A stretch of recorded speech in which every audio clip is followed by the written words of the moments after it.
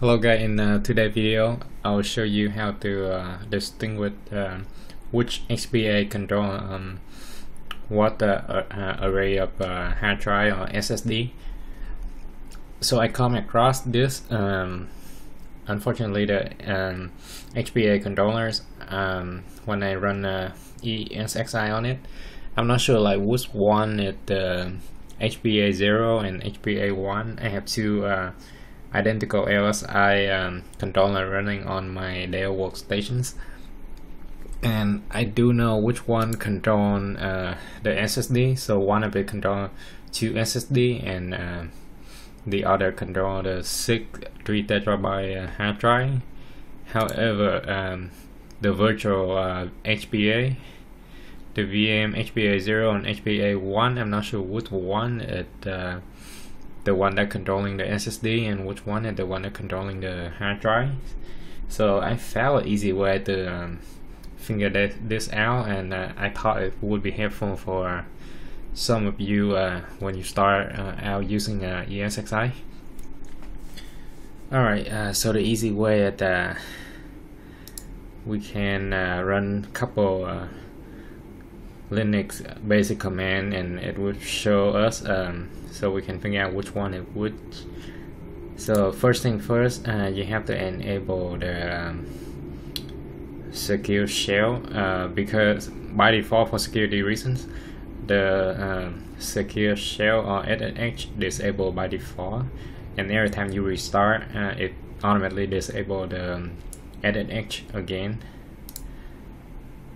all right and um, so I'm not using the uh, window uh, command prompt to log in today. I'm using the SSH console.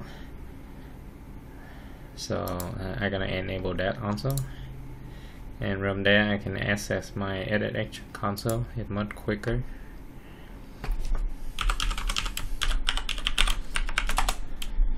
Alright uh, so the first thing uh, the first command we gonna run it um,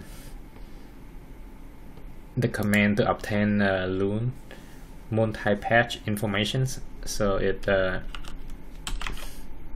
oops esxcli then storage core patch list Hmm, I might have misstep somewhere. esxcli storage. Oh, I misspelled patch. That's why. There you go. There you go. So as you see right here, the uh, SAT hard drive is actually attached it to uh, the HBA number one. So now we can tell that the HBA number one that control the SAS hard drive and uh, the other one the HBA 0 it control the SSD hard drive. So in, uh, if you uh, have to enable the pass-through mode for um, FreeNAS for example right here we got a two exactly identical uh, LSI and the only different is the address. So but it wasn't show you which one is HBA number one and HBA number zero. So in order to figure out which one is HBA one and which one HBA zero we're gonna run another command.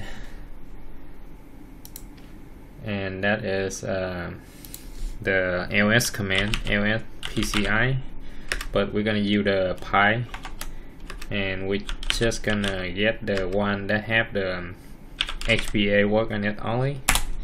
And as you see right here show you it uh, return the output only uh, for the HBA so right here HBA 0 and HBA 1 so now that uh, and this is the address for it.